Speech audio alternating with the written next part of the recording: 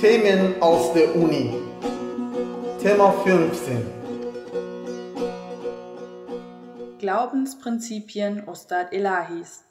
Teil 2 Das Schicksal der Seele nach dem Tod. Einführung. Im ersten Teil dieses Artikels haben wir die ersten drei Prinzipien der Glaubensprinzipien Ustad Elahis untersucht. Die Schlussfolgerung dieser Studie war, dass jede wahre Religion diese drei Prinzipien beinhalten muss.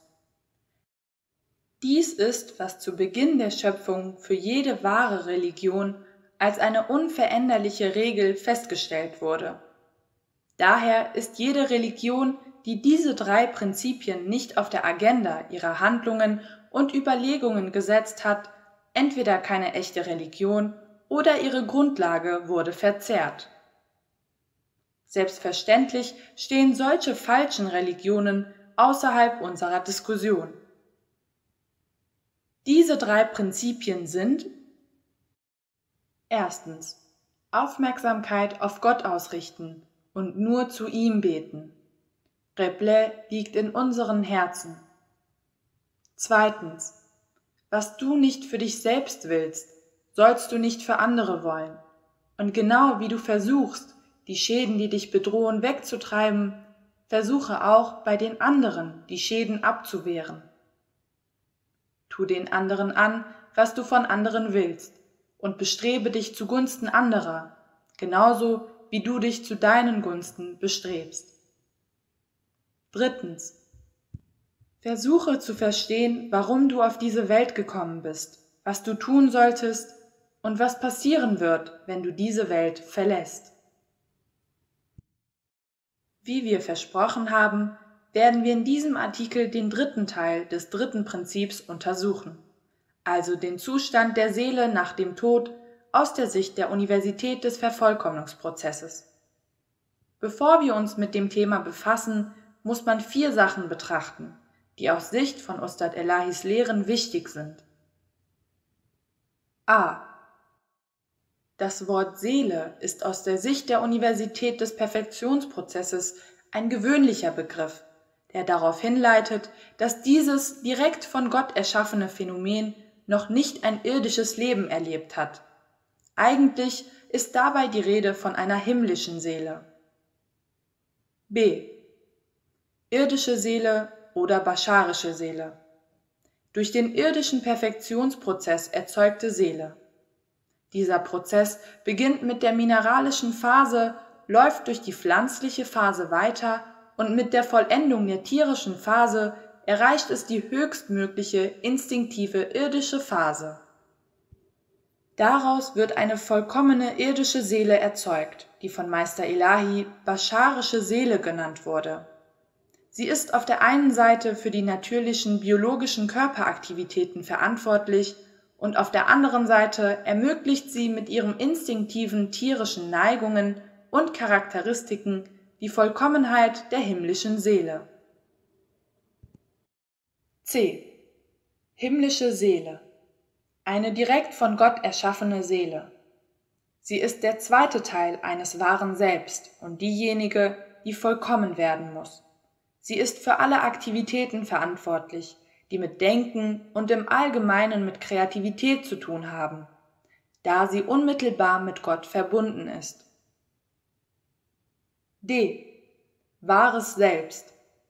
Sobald eine Seele zum ersten Mal mit einem Körper durch die Quantenschnur verbunden ist und damit das erste irdische Leben erfahren hat, wird sie nicht mehr als himmlische Seele, sondern als wahres Selbst betrachtet da sie durch diese Verbindung auch mit der irdischen Seele, also der bascharischen Seele, verbunden wird. Im Allgemeinen gilt, wahres Selbst ist gleich himmlische Seele plus bascharische Seele bzw. irdische Seele. Daher werden wir in diesem Artikel an bestimmten Stellen anstatt Seele vom wahren Selbst reden. Was passiert, wenn du diese Welt verlässt? Was mit der Seele zum Zeitpunkt des Todes passiert, wird bald unter dem Artikeltitel die letzte Szene auf verschiedenen Sprachen übersetzt und veröffentlicht. Tod.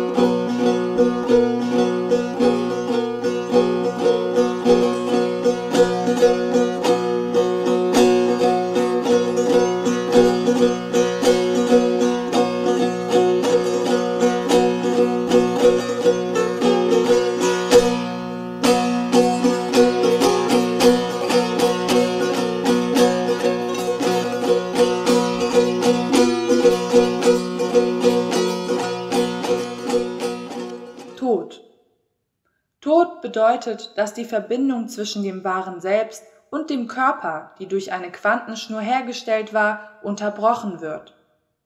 Dieser Zustand kann nur für Menschen sehr unangenehm sein, die während ihres Lebens den Mitmenschen nichts anderes als Böses angetan und denen Angst, Einschüchterung und ernsthaften Schaden zugefügt haben. Diese Art des Todes wird plötzlicher Tod genannt der ein sehr schmerzhafter Tod ist. Für alle Menschen ist diese Zeit, in der die Seele durch eine sanfte Lösung der Quantenschnur vom Körper getrennt wird, ein himmlischer, sehr angenehmer und herrlicher Moment.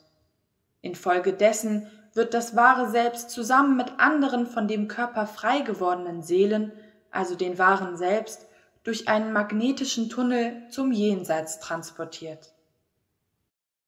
Für jedes wahre Selbst nach dem Tod treten die folgenden Hauptereignisse auf. Nach den Lehren Ustad Elahis kehren die wahren Selbst, denen es gelungen ist, ihren Perfektionsprozess auf der Erde abzuschließen, durch einen bestimmten Vorgang direkt zu dem ursprünglichen Ort in der Herkunft des Daseins zurück und müssen nicht ins Jenseits gebracht werden. Die speziell erschaffenen Seelen die eine Weile als von Gott beauftragte Persönlichkeiten auf der Erde ansässig waren, werden unmittelbar direkt zu ihrem eigenen Ursprung transportiert, der sich vom Ursprung von den gewöhnlichen vollkommenen Seelen unterscheidet. Da im Archiv der Verwaltungsabteilung des Jenseits eine Kopie der Informationen des Karmasystems jeder Person verfügbar ist, wissen die zuständigen Beamten im Jenseits zunächst, wie der allgemeine Zustand der Vollkommenheit dieses zurückgekehrten wahren Selbst ist. Deshalb wird im ersten Schritt also festgestellt, ob bei diesem wahren Selbst die Frist der Vollendung des Perfektionsprozesses zu Ende ist oder nicht. Im zweiten Schritt sind zwei Schicksale für die Seelen möglich, deren gesetzliche Frist für die Vollendung des Perfektionsprozesses noch nicht abgelaufen ist. Erstens.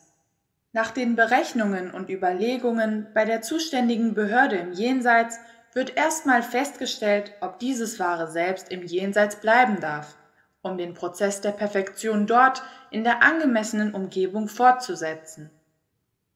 Dieser Prozess beinhaltet eine kurze, mittlere oder lange Zeit des Trainings, die letztendlich zur seelischen Perfektion im Jenseits führt. Meister Elahi betrachtet eine solche Entscheidung als großes Geschenk und Privileg an einige Seelen, da sich ein wahres Selbst nur auf die wesentlichen, also auf den Unterricht und folglich auf die relevanten Prüfungen konzentriert. Diese Prüfungen im Jenseits werden durch verschiedenartige spirituelle Methoden, unter anderem durch Verkopplung eines im Jenseits ansässigen wahren Selbst mit einem anderen wahren Selbst auf der Erde durchgeführt. In dem Zusammenhang muss ich darauf hinweisen, dass ein wahres Selbst im Jenseits mehr als drei Dimensionen wahrnehmen kann, die uns auf der Erde bekannt sind. Außerdem braucht ein wahres Selbst im Jenseits nicht zu arbeiten, da es dort keine irdischen Wünsche und Neigungen gibt. In einem Teil des Buches Kenntnis der Seele hat Meister Elahi verschiedene Arten dieser Prüfungen wissenschaftlich beschrieben. Zweitens. Das wahre Selbst tritt sofort in ein anderes irdisches Leben ein, was eine Art Bestrafung ist zum Beispiel bei Waren selbst, die Selbstmord begangen haben. Abgesehen von den genannten Waren selbst werden die anderen Seelen nach einer besonderen Ruhephase und etwas Training auf verschiedene Ebenen des Jenseits, die als Schichten des Paradieses bekannt sind, durch eine Quantenschnur mit einem Körper gekoppelt, der eine eigene irdische Seele besitzt. welche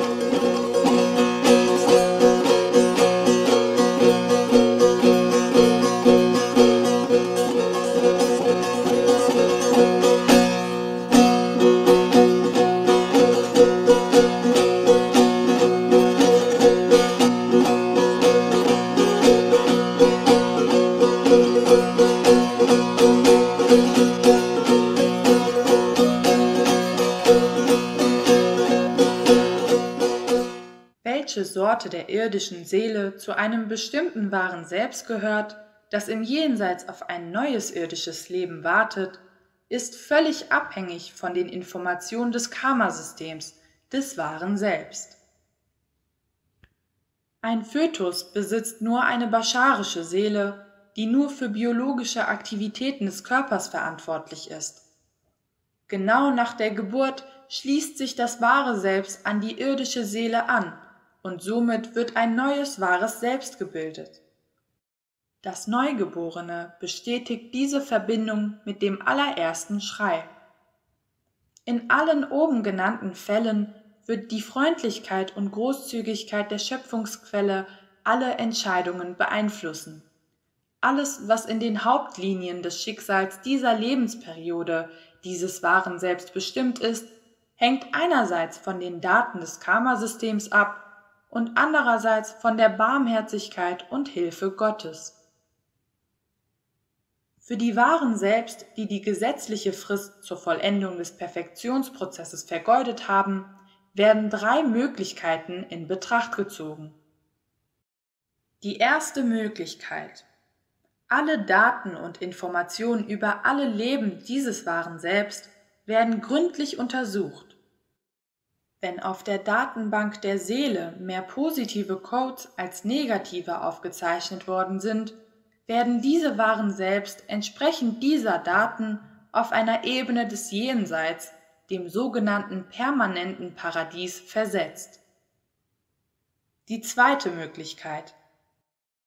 Die Anzahl der negativen und positiven Codes bei einem wahren Selbst sind ungefähr oder genau gleich. In diesem Fall wird dieses wahre Selbst mit Gottes Hilfe, die immer in eine positive Richtung wirkt, in eine der unteren Ebenen des ewigen Glücks, also Paradies oder Himmel, versetzt. Die dritte Möglichkeit. Die Anzahl der negativen Codes ist größer als jene der positiven Codes. In diesem Fall wird dieses wahre Selbst sich auf einer der unangenehmen Ebenen des Unglücks befinden. Es gibt viele Debatten darüber, ob diese Waren selbst, die sich in einem Gebiet namens Hölle befinden, eines Tages in der Lage sein werden, sich aus diesem Gebiet zu retten. Ich persönlich glaube, dass nicht nur Gott, sondern auch einige seiner Manifestationen bereit sind, diesen gefallenen Waren selbst zu helfen, im Laufe der Zeit ihr Niveau zu erhöhen und sie somit aus dieser Umgebung zu retten. Dies kann jedoch aufgrund der negativen Last des Karmasystems sehr lange dauern. Diese Behauptung ist nicht eine Spekulation, sondern basiert auf einigen Beobachtungen. Keine der drei oben genannten Gruppen darf weder in die materielle Welt noch in die Welt der Perfektion zurückkehren. Wie im vorhergehenden Artikel erwähnt, muss nach den Glaubensprinzipien Ustad Elahis jeder Mensch wissen, wohin er nach dem Tod geht und was dort geschehen wird. Die Präsentation des vorliegenden Artikels, der aus den Werken von Meister Elahi entnommen worden ist, erleichtert die Arbeit und liefert uns diese wertvollen Informationen. Wenn wir nun richtig verstehen, was Meister Elahi über den Zustand der Seele nach dem Tod gesagt hat, können wir nachvollziehen, warum die echten Mystiker und Propheten im Osten und Westen darauf bestanden haben, dass ihre Anhänger immer gute Taten, Gedanken und Absichten ausüben sollen. Ende Teil 2 Urkunde des Artikels. Recherche und Untersuchung.